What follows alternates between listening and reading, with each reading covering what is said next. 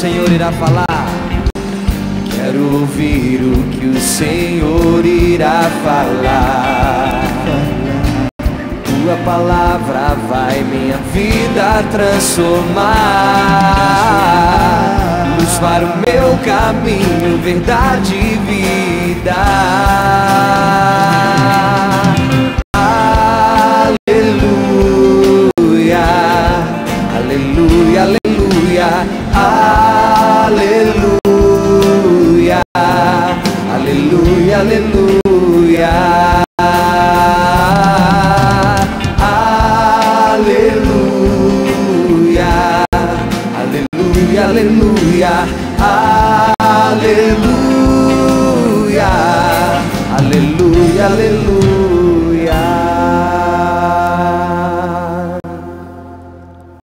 Senhor esteja convosco.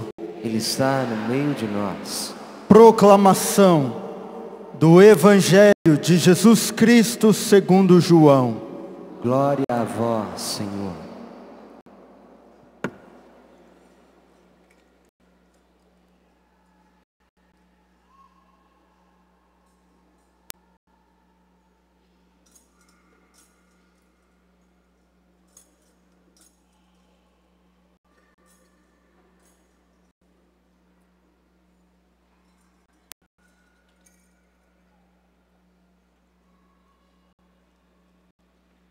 Ao anoitecer daquele dia, o primeiro da semana, estando fechadas, por medo dos judeus, as portas do lugar aonde os discípulos se encontravam, Jesus entrou e, pondo-se no meio deles, disse: A paz esteja convosco.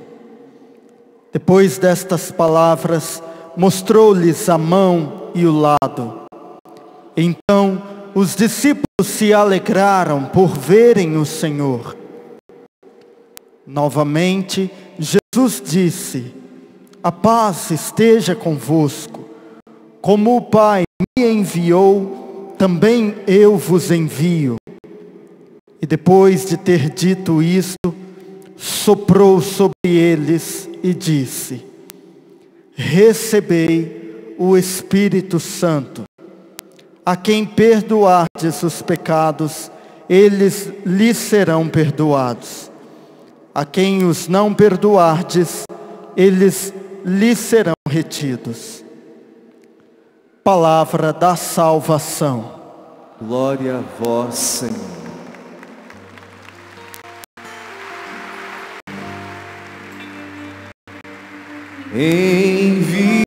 Enviai o vosso Espírito, Senhor, e da terra toda face renovar. Enviai o vosso Espírito, Senhor, e da terra toda a face renovai. Você cantando, enviai, enviai. Da terra e da terra toda.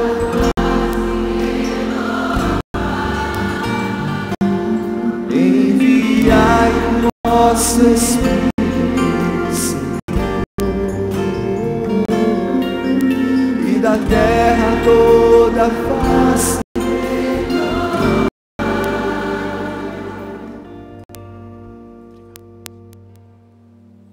Meus irmãos, minhas irmãs, com a celebração desta solenidade de Pentecostes, nós estamos concluindo o nosso tempo pascal. Nós estamos encerrando o tempo pascal com esta solenidade. Porque é exatamente isso. O dom do Espírito Santo, ele brota desse mistério da paixão, da morte e da ressurreição do Senhor. Nós temos que ter o coração agradecido por tudo aquilo que o Senhor fez nesse tempo pascal, mas de uma maneira especial um coração grato a Deus esse dom do Espírito Santo à igreja. A festa, a solenidade que nós agora celebramos, ela demonstra que Deus é o cumpridor de todas as promessas que ele faz, porque ele havia prometido o Espírito Santo e ele doa o Espírito Santo no dia de Pentecostes. Como o padre Fábio na pregação da manhã explicava toda a dimensão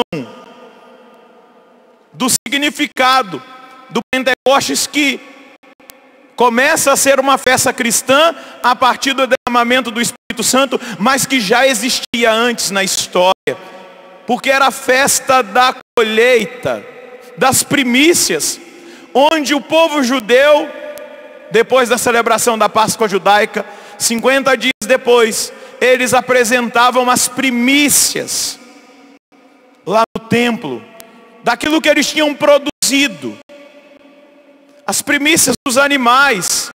Eles davam o melhor. E celebrar Pentecostes é ver Jesus apresentando as primícias ao Pai. Aqueles homens e aquelas mulheres que ali no cenáculo passaram aquele tempo em oração, mas que tinham sido discípulos e apóstolos de Jesus, homens, mulheres que seguiram Jesus, Jesus e estavam ali em estrita obediência, clamando pela promessa, eles são a primícia. Jesus está apresentando os primeiros, aqueles que foram alcançados pela salvação, pela pregação, pelo ministério de Jesus, e o Pentecostes é Jesus apresentando, pelo dom do Espírito, ao Pai, o melhor. Mas o melhor que precisava ser trabalhado, que precisava ser provocado, que precisava sair do medo, da angústia, que tudo aquilo que eles acabaram experimentando no evento pascal, na morte do Senhor, depois da surpresa da ressurreição, eles estavam atordoados, porque os mistérios de Deus que eles tinham experimentado era, era, grandio, era grandioso demais, e eles não conseguiam ainda compreender totalmente. E eles precisavam daquele que lhes recordaria todas as coisas. E Jesus também, junto com o Pai, dá a eles a primícia do Espírito Santo. O dom do Espírito Santo. Dá a eles a capacidade para testemunhar, para anunciar a boa nova, dar testemunho desta salvação que Jesus operou, que Jesus realizou e que eles foram os primeiros a serem tocados. Agora era a hora da multiplicação. Agora era a hora de chegar no coração dos homens e das mulheres, judeus e pagãos, que ainda não conheciam o Senhor. E por isso, do céu vem o dom, vem o Espírito Santo. E nós vemos que ele vem com esses sinais. Chegando o dia de Pentecostes, os discípulos estavam reunidos todos no mesmo lugar. Foi isso que nós escutamos na primeira leitura. De repente veio do céu um barulho, como se fosse uma forte ventania, que encheu a casa onde eles se encontravam. Então apareceram línguas como de fogo que se repartiram e pousaram sobre cada um deles. Todos ficaram cheios do Espírito Santo e começaram a falar em outras línguas conforme o Espírito lhes inspirava. Quando eu escutei essa leitura, eu lembrei do testemunho de um jovem que eu não me recordo se foi num Pentecostes ou se foi numa missa do clube, que ele fez uma experiência exatamente como essa, que está narrado nos Atos dos Apóstolos. Jesus me trazia a lembrança dele, chama Vinícius, é dos Jovens Sarados, lá de Aracaju. Ele era um jovem que não estava muito firmado em Deus, na caminhada. Diz ele que nós estávamos aqui orando, mas a mãe dele também orava e falava da canção nova, e ele ligou a televisão e nós estávamos orando. Diz ele que de repente deu um estrondo dentro da casa dele. Uma ventania que derrubou quadros. Milagre. Algo extraordinário. Falou, meu Deus, ele foi olhar a janela porque poderia ser um vento, né? Uma ventania que estava dando na cidade, mas a janela estava fechada. Aquilo estava acontecendo dentro da sala, aonde ele estava. E ele foi tomado, é exatamente como é narrado hoje. Ele foi tomado, possuído pelo Espírito Santo. Olha só, pela TV, por um sistema de comunicação consagrado ao Espírito Santo. O poder do Espírito Santo é derramado dentro de uma sala. Como é, eu já recebi testemunhos de hospitais, de cadeia, aonde por esse dom de Deus que é a canção nova, esse Espírito Santo chegou e aquele jovem foi tomado pelo Espírito Santo de uma maneira tão grande, tão poderosa. Ele se prostrou, ele caiu ali no Espírito, na presença do Espírito, e o Espírito Santo foi trabalhando na vida dele, dizer que ele suava, que ele não sabe explicar. Mas quando ele se levantou, ele se levantou uma pessoa nova, cheio do Espírito Santo, tocado, tocado por Deus a viver uma vida nova. Porque é exatamente isso que o Espírito Santo faz. Pentecostes é hoje, acontece hoje, é atualizado. Pentecostes acontece quando nós invocamos o Espírito Santo na nossa vida. Pentecostes transforma, provoca, gera entusiasmo, gera ardor, gera vida, vida nova. É esse o sentido da igreja. Não sei se você prestou atenção, mas olha o pedido da igreja. A oração da coleta. Ó Deus, que pelo mistério da festa de hoje, santificais a vossa igreja inteira, em todos os povos e nações. Derramai por toda a extensão do mundo os dons do Espírito Santo e realizai agora no coração dos fiéis as maravilhas que operastes no início da pregação do Evangelho. A igreja acredita, você que está acompanhando de casa, a igreja acredita que hoje, agora, na sua vida, acontece as maravilhas que aconteceram na, no início da pregação do Evangelho. A igreja acredita que hoje, que agora, que nesse momento, quando nós celebramos Pentecostes, as mesmas maravilhas que aconteceram no início da pregação do Evangelho acontecem hoje agora. Você acredita? Pergunto para quem está ao seu lado, você crê? É exatamente isso, meus queridos. Eu queria que você aplaudisse a fé dessa igreja.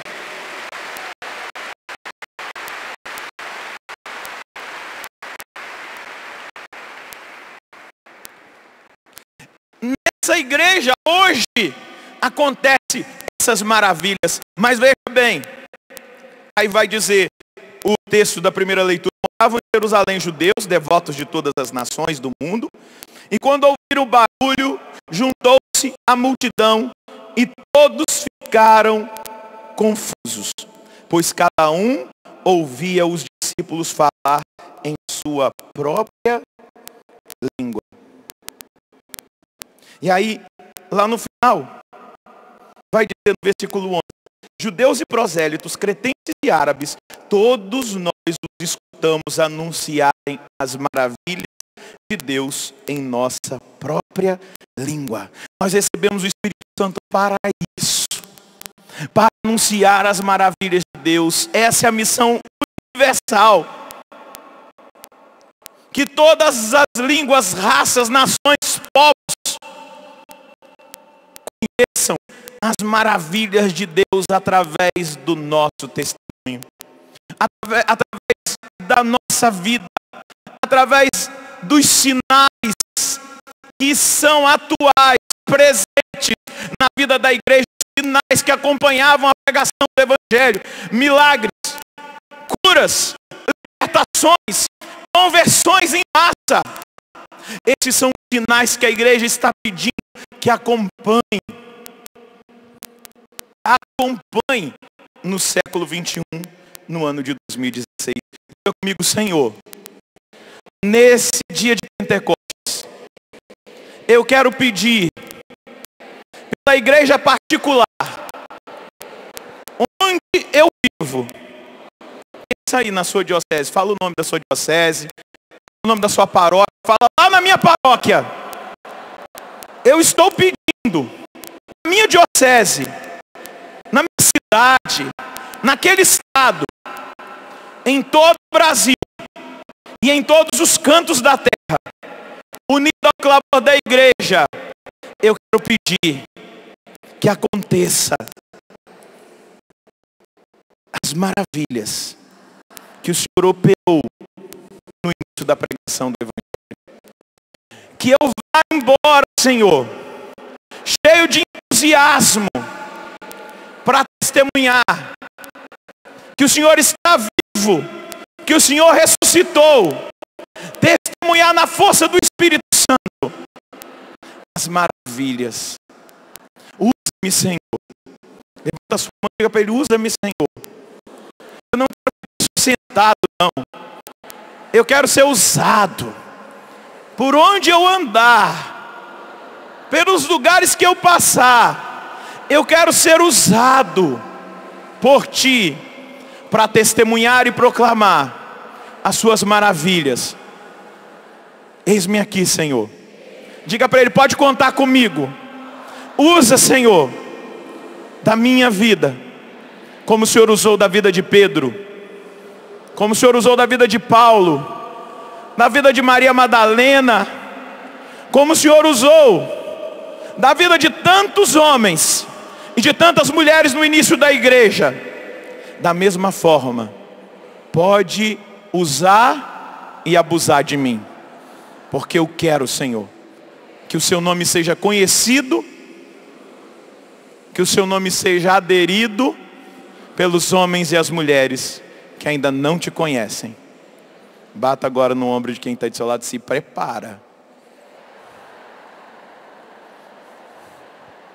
Não vai ser o show das poderosas, não. Vai ser o show do Todo-Poderoso através de você. Vai ser o poder dele agindo através da sua vida. Vai ser o mover do Todo-Poderoso, a ação do Todo-Poderoso. Esses dias eu recebi, porque no século 21, no ano de 2016, está acontecendo um avivamento numa pequena cidade da Virgínia, nos Estados Unidos, do estado da Virgínia. Um jovem foi curado de leucemia. E lá nos Estados Unidos é proibido falar de Deus nas escolas, como no Brasil já estão caminhando para isso. Então não pode falar de Deus, não pode ter oração, não pode falar da palavra. Parece-me que foi tirado das bibliotecas também. E esse jovem estava entre a vida e a morte, desenganado pelos médicos. E o Senhor Deus o curou lá no hospital, pela oração e pela intercessão fez a maravilha, como no início da igreja. E ele foi sendo tomado, eu vi na CNN a reportagem. Ele foi sendo tomado pelo Espírito Santo, incomodado por causa daquilo que aconteceu na vida dele. E um dia ele foi impelido pelo Espírito Santo no corredor da escola. Ele pegou a Bíblia e começou a testemunhar o que tinha acontecido na vida dele. Meus irmãos, foi filmada a pregação. Os jovens foram sendo tocados, aquilo foi se multiplicando, virou meme na internet e algo sobrenatural está tomando aquela cidade, aquela região lá nos Estados Unidos. Milagres acontecendo, pessoas se convertendo, orações em público, na escola, e tem se espalhado através de um que resolveu testemunhar. Um que teve a coragem de dizer o que Deus fez na vida dele, o que Deus realizou, o poder que Deus manifestou, deixou ser usado pelos dons do Espírito Santo como Paulo vai dizer na segunda leitura, há um só Senhor, e é o mesmo Deus que faz tudo em todos, é o mesmo Espírito que age. Paulo vai dizer aqui na segunda leitura exatamente isso. Ninguém pode dizer que Jesus é o Senhor se não for pelo Espírito Santo. Esse menininho, esse jovem, de um pouquinho mais de 20 anos, eu acho que ele tem frágil, mas corajoso. Começou a testemunhar. Imagina se você começar a testemunhar, hein? O que, que Deus não pode fazer no Brasil com esse tanto de gente que está aqui na Canção Nova e esse monte, esse bando de gente que está acompanhando pela TV, pela rádio, pela internet? Se nós tivermos coragem de assumir a nossa posição, se nós tivermos a coragem de testemunhar cheios do Espírito Santo, se nós tivermos a coragem de deixar o Espírito Santo arrancar de nós a timidez, o medo, a insegurança, eu tenho certeza que o Brasil será sacudido por um poderoso avivamento. Mas nós precisamos nos posicionar. Nós precisamos perder a vergonha de testemunhar. Nós precisamos mergulhar na palavra e ser instruídos pelo Espírito Santo. Eu e você. Segura na mão de quem está do seu lado e diga: é nós, meu irmão. Tenha coragem. Deus está te chamando. Pentecostes é envio. Não é somente emoção, arrepio. Não. Pentecostes é envio para que nós hajamos no poder de Deus. Balança a mão desse irmão e diga, Deus conta com você. E eu sei, e eu verei. Se eu e você, diga para ele, se eu e você assumirmos a nossa posição, nós veremos que nascerá uma nação nova, avivada pelo poder do Espírito Santo, que vai testemunhar para o mundo aquilo que é a ação e o poder do Espírito Santo. Aqui no livro Experiência de Avivamento, eu coloquei uma homilia do Papa Francisco. Deixa eu ver qual é o dia. No 46º dia de oração. Quando o Papa Francisco fala do zelo. Foi no dia 16 de maio de 2013. Francisco falando de Paulo, ele vai dizer assim: Paulo passou a vida de perseguição em perseguição, sem nunca desanimar. Ele olhava para o Senhor e ia adiante. Ele incomodava com as suas pregações, com o seu trabalho, com o seu comportamento, porque ele anunciava Jesus. Mas o Senhor quer que nós sigamos adiante, que não nos refugiemos em uma vida tranquila. Cutuca aí, quem recebe o Espírito Santo nunca tem uma vida tranquila. Ah, se você vive uma vidinha tranquila, meu irmão, seguinte, foi só emoção, não é Espírito Santo não. Foi obra emocional. Porque quando nós experimentamos o Espírito Santo, ele nos incomoda. A gente não consegue guardar para nós. Depois eu vou falar o que o Papa fala aqui também. Falou essa semana. E aí Francisco diz. Mas o Senhor quer que nós sigamos adiante. Que não nos refugiemos numa vida tranquila, em estruturas velhas. Paulo continua a anunciar porque tinha em si a atitude cristã do zelo apostólico. Zelo apostólico não é entusiasmo pelo poder, porque muitas vezes nós não temos tido condição de testemunhar, porque a gente tem mais zelo pelo poder, pelo cargo, pela importância do nosso nome do que por anunciar Jesus Cristo. Ele vai dizer, zelo apostólico não é entusiasmo pelo poder, pelo possuir, Hum, será o que, que eu vou ter de retorno quando eu for numa missão? Será que vão me dar presente? Qual será o valor da oferta missionária? Não é zelo pelo possuir. O Papa que está dizendo, não sou eu não. É algo que vem de dentro, que o próprio Senhor quer de nós. O zelo apostólico provém do conhecimento de Jesus Cristo, do nosso encontro pessoal com Ele. Zelo apostólico tem algo de louco. É nós, meu irmão, louco. Ali, eu, na hora que eu estava ouvindo a sequência de Pentecostes, eu falei, meu Deus, obrigado por eu ser carismático. A gente paga um preço. Porque quando a gente é carismático, existe um espírito de zombeteiro, do diabo, que usa até gente da igreja para zombar de nós. É assim. Mas eu falei, obrigado, Senhor, porque um dia eu fui batizado no Espírito Santo há 20 anos atrás e a minha vida mudou. Obrigado, porque desde o dia que eu fui batizado no Espírito Santo, o Senhor colocou esse fogo dentro de mim que não para de crescer, de me incomodar, de me tirar das minhas estruturas, que às vezes eu tento criar. O Senhor me leva, me faz avançar. E aí o Papa vai dizer, é algo de louco, mas não é uma, é uma loucura espiritual, saudável. E Paulo tinha essa loucura. Entretanto, existem muitos cristãos mornos que não querem se empenhar. Existem também os cristãos de salão, não é? É o papo que está dizendo. Aqueles educados, finos, educados. Credo, eu não vou ser desse jeito nunca. Olha que exagerado. Tão educado, fino.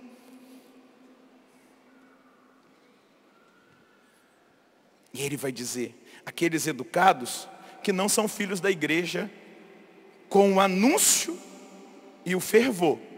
Ele não está dizendo que não são filho da, filhos da igreja. Não são filhos da igreja com o anúncio e o fervor. E aí ele continua. Hoje, peçamos ao Espírito Santo que nos dê esse fervor apostólico. E a graça de incomodar as coisas que estão tranquilas demais na igreja. Olha o que, que o Papa está dizendo. Peçamos ao Espírito Santo que nos dê a graça de incomodar as coisas que estão tranquilas demais na igreja. Aonde nós estamos. E ele continua. A graça, peçamos a Ele de irmos às periferias existenciais, não só nas terras distantes, mas aqui nas cidades onde é necessário o anúncio de Jesus Cristo. E Ele vai dizer: e se perturbarmos, bendito seja o Senhor. Segura na mão de quem está do seu lado. Ah, não vai dormir não, está pensando? Não vou deixar. Balança a mão desse irmão e diga, ei, e se nós incomodarmos, diz o Papa Francisco, o nosso líder espiritual, bendito seja Deus se nós incomodarmos. Fala para esse irmão, será que não chegou a hora? De nós incomodarmos, sair do comodismo e começar a incomodar, Deus está chamando você a incomodar as estruturas velhas, senis. Sim, Deus está chamando você a incomodar o mundo com a sua vida e com o seu testemunho, a provocar avivamento aonde você estiver, onde você passar. Padre, você acabou de ficar louco. Estou louquinho junto com o Papa Francisco. Do jeito dele. Porque é ele que está dizendo que nós temos que incomodar. Sair do comodismo e incomodar. Bendito seja o Senhor. Como disse o Senhor a Paulo, e aí ele diz para mim e para você, coragem. Coragem. Mais uma vez repita, coragem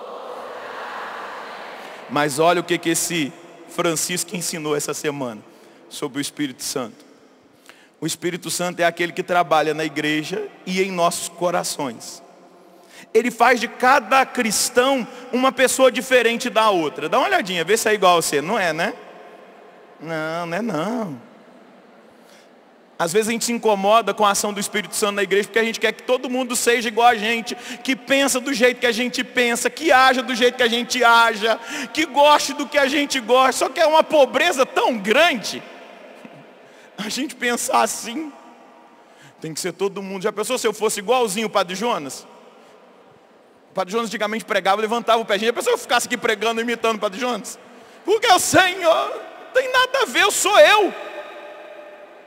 Não tem nada a ver eu ficar imitando o Padre Léo, cada um tem o seu valor.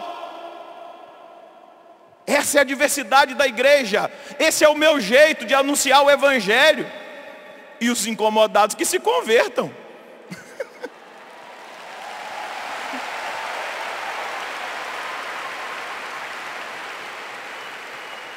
Cada pessoa diferente da outra.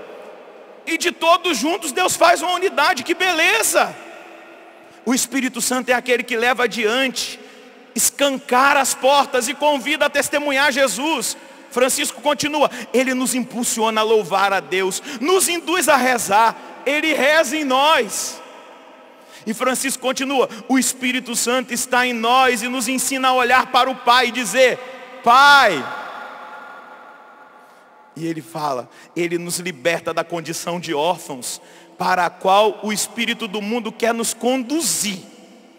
Quem se afasta de Deus é um órfão, fica sem pai, mas o Espírito nos leva a proclamar Pai. E aí ele vai dizer: o Espírito Santo é o protagonista da igreja viva, é aquele que trabalha na igreja, porém, quando não vivemos isso, quando não estamos à altura dessa missão, a fé corre o risco de se reduzir a uma moral ou uma ética. Não devemos nos deter nos cumprimentos dos, no cumprir os mandamentos e nada mais. Até aqui sim, até lá não. Dali se chega a uma casuística, a uma moral fria. Aí Francisco vai dizer: a vida cristã não é uma ética. Francisco vai dizer: a vida cristã é um encontro com Jesus Cristo. É o próprio Espírito Santo que me leva a este encontro com Jesus. E aí ele vai dizer: Mas nós, em nossas vidas, nós temos em nossos corações o Espírito Santo como um prisioneiro de luxo. Ele fala: cuidado que nós temos que ter para que o Espírito Santo não se transforme em um prisioneiro de luxo no meu coração. Um prisioneiro de luxo, diz o Papa Francisco. Ter esse cuidado. E ele vai dizer: não deixamos que ele nos impulsione, não deixamos que ele nos movimente. Ele faz tudo, sabe tudo, sabe nos lembrar que o que Jesus disse, sabe ao explicar as coisas de Jesus. Somente uma coisa que o Espírito Santo não sabe fazer: cristãos de salão. Ele não sabe fazer cristãos virtuais, diz o Papa Francisco. O Espírito Santo não sabe fazer cristãos virtuais. Ele faz cristãos reais. Dá uma olhada para quem está de seu lado. Cristão real. Toca aí para você ver. É um holograma, né? Não. É uma imagem? Não. É um cristão. Coloca a mão dele e diga. É um cristão real. É real. Toca aí nele. É real. Um cristão real. O Papa vai dizer, o Espírito Santo só sabe fazer cristãos reais. Ele assume a vida real como ela é, com a profecia de ler os sinais dos tempos e assim nos levar avante. É o maior prisioneiro do nosso coração. Nós dizemos, é, o Espírito Santo é a terceira pessoa da Santíssima Trindade e para aí, diz o Papa Francisco. Só no conceito, longe da experiência. É isso que o Papa está dizendo. É um conceito. Quem é o Espírito Santo? Eu sei, padre. É a terceira pessoa da Santíssima Trindade. E daí? O que, que ele faz na sua vida?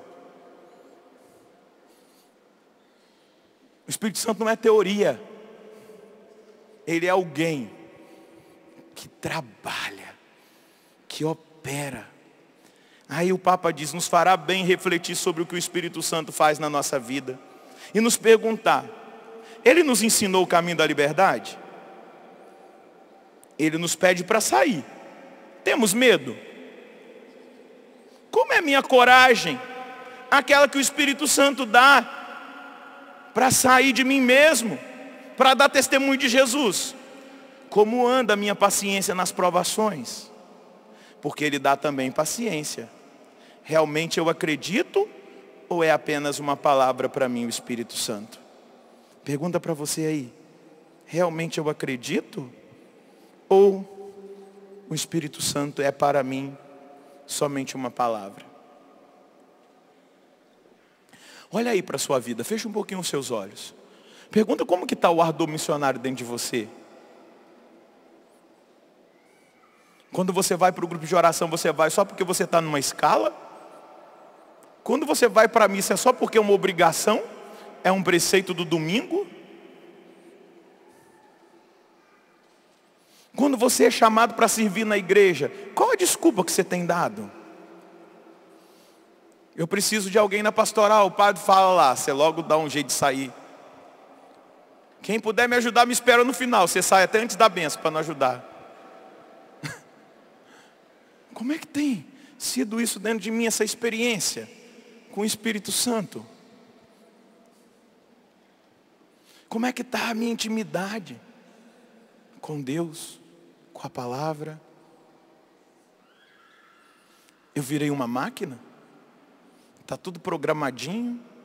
E quando sai do meu esquema, eu quase dou uma crise de pânico? Como é que eu sou? Qual é o meu relacionamento? Com seus olhos fechados? Coloque a sua mão sobre o seu coração e peça ao Espírito Santo agora essa graça de te tirar do comodismo. Fala para ele agora, seja sincero. Ah, padre, você não sabe, eu trabalho a semana toda, estou tão cansado. Nós ouvimos na sequência de Pentecostes que ele é o descanso. É o Espírito Santo, é o descanso. Ele é aquele que hospeda a nossa alma. Vai dizer a sequência de Pentecostes, no labor, descanso. Descansa agora no Espírito Santo. Às vezes a gente tem canalizado energia demais, por isso nós andamos tão cansados e nem conseguimos dormir, de tão cansados que nós estamos, porque nós estamos canalizando energia na nossa vontade, nos nossos sonhos, nos nossos desejos, nos nossos projetos pessoais.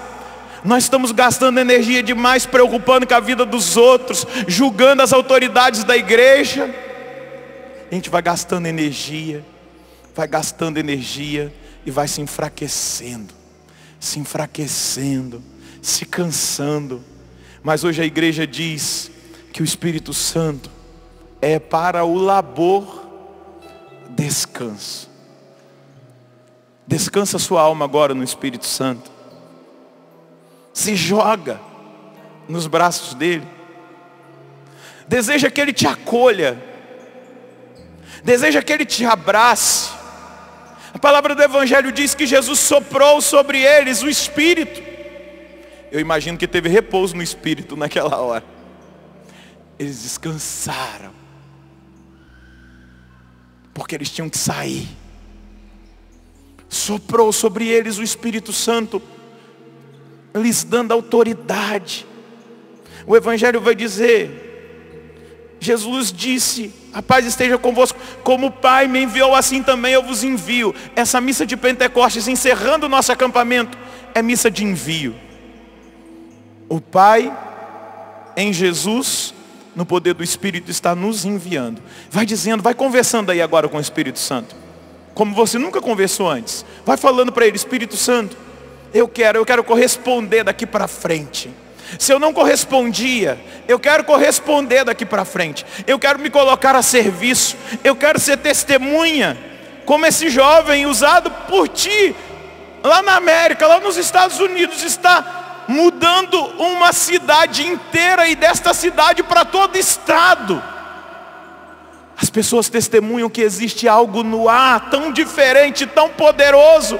É a sua presença, Espírito Santo. Isso se chama avivamento. Conversão de jovens, de anciãos. As igrejas estão começando a ficar cheias. Pessoas estão voltando, ateus se convertendo. Porque o Senhor trabalha mas faz isso primeiro em mim, faz isso primeiro no meu coração, faz isso primeiro na minha história. Transforma o meu coração, me leva a experimentar, Espírito Santo, esse ardor apostólico. Que eu me apaixone pelos perdidos, por aqueles que ainda não conhecem, pelos que estão nas periferias existenciais. Continue orando. Esses dias eu fui impactado com uma foto que chegou no meu, no meu Facebook, das irmãs na toca dentro de uma cadeia, orando na cabeça de presos. E eles ali com o coração rendido, e elas orando, pedindo o Espírito Santo sobre eles. Isso é avivamento, isso é ardor.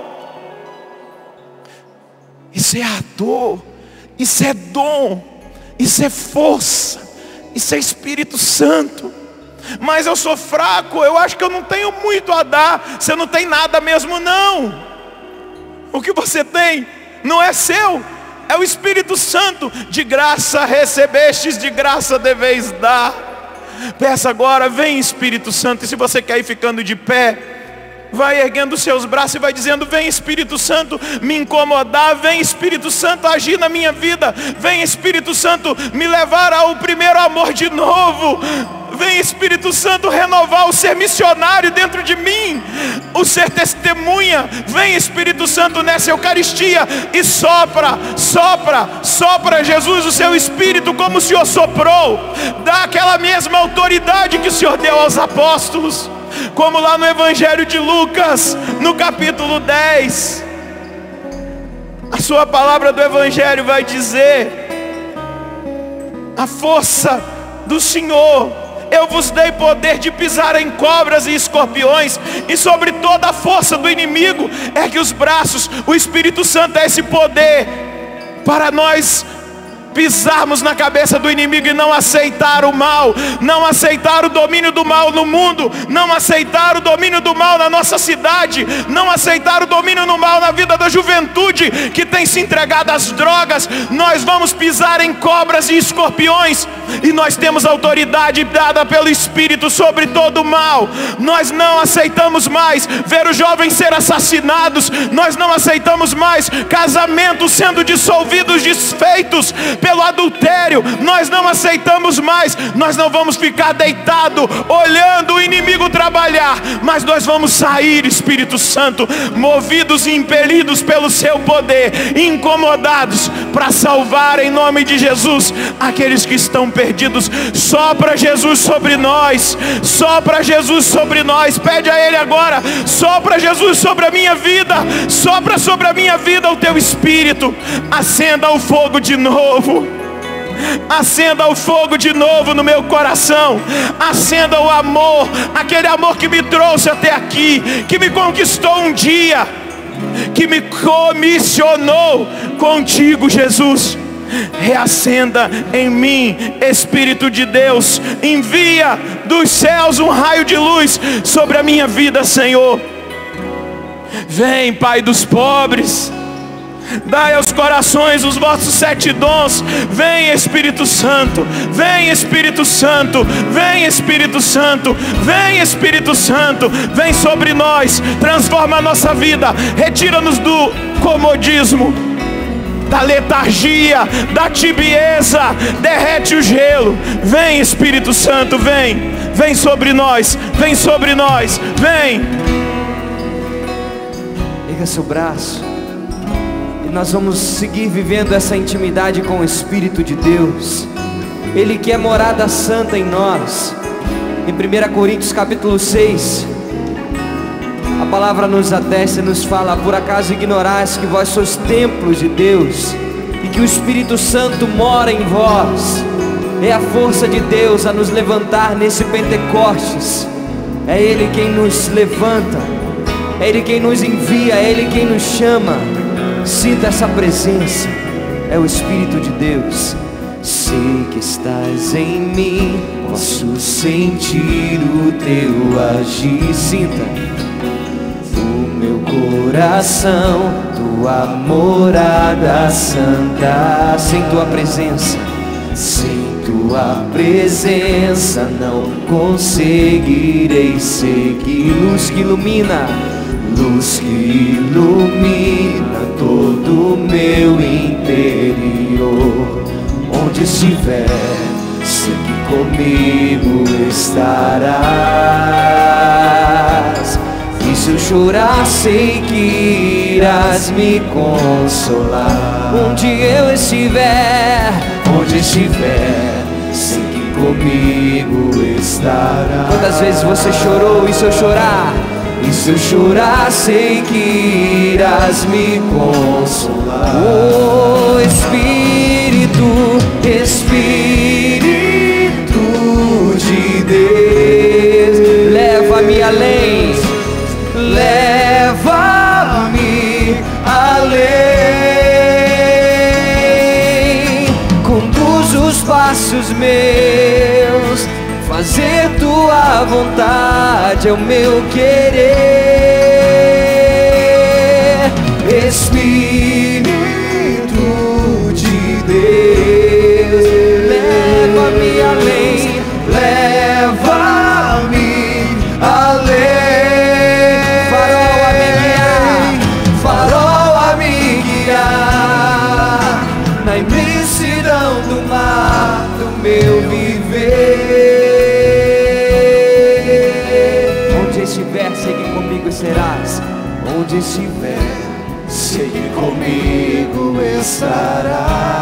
E se eu chorar, e se eu chorar, sei que irás me consolar. Sim, onde eu estiver, onde estiver, sei que comigo estarás. E se eu chorar, e se eu chorar, sei que irás me consolar. Me consolar, Espírito, Espírito de Deus. Leva-me além, Deus, leva-me além. Conduz os passos meus, conduz os passos meus. Fazer tua vontade, fazer tua vontade é o meu querer. Espírito de Deus, leva-me além,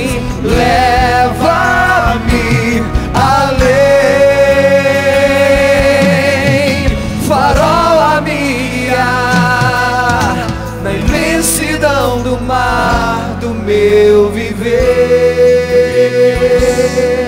De nós encerrarmos, segura na mão desse irmão, balança a mão dele e parafraseando Santa Catarina de Sena, você vai dizer para ele: se você for, fala para esse irmão, se você for Se você for aquilo que você deve ser, que você deve ser, nós colocaremos nós fogo colocaremos no mundo.